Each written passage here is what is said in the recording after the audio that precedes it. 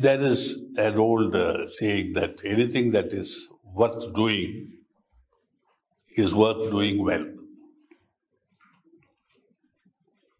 Whether it is speaking, building a house, or even cooking. My master used to emphasize that there is no distinction between different aspects of work. To think that cooking is less important than mounting a car or its chassis or being part of a aeroplane establishment. It's a false idea to think that this work is more important than that because all work is work and work well done is what matters. A science education is no more important than an art education.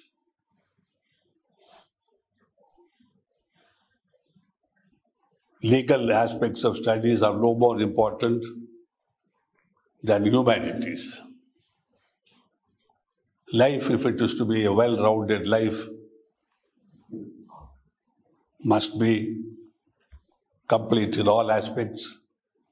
A human being must be a human being, a well rounded human being, a balanced human being, with capacities which are inherent in that round ball, you know, which is a sphere, which can be put out when necessary in any direction.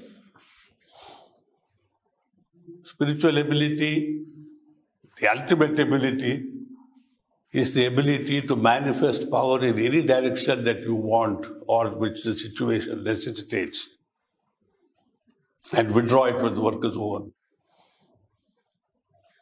In Sahaj Marg, I am the object of the experiment.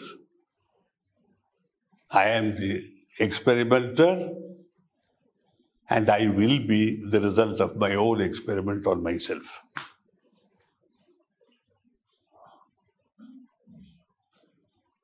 This is the only science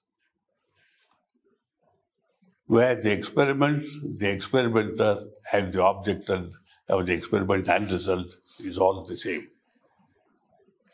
And the only facilitator is a guru who says, if you are willing to sit comfortably, close your eyes, imagine the divine light in the heart, and meditate without allowing the mind to go hither and thither. This life as a human being is the highest life that we can achieve. And by God's grace, we are here as human beings. How to evolve out of this into the ultimate condition? That is what this life is for. We have come for a purpose. We have chosen our environment.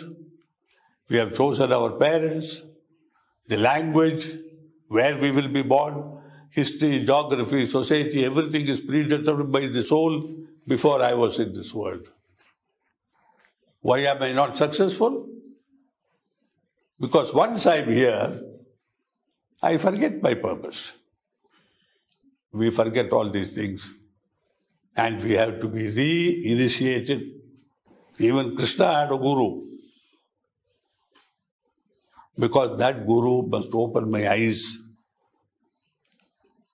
to my past from which I have to evolve into the future to the present. Whatever else the Guru may be, you know. This is his primary and only function. To remind me, my dear boy, you have come to this earth, to this human birth for this purpose. Don't forget it. Don't swerve from the path.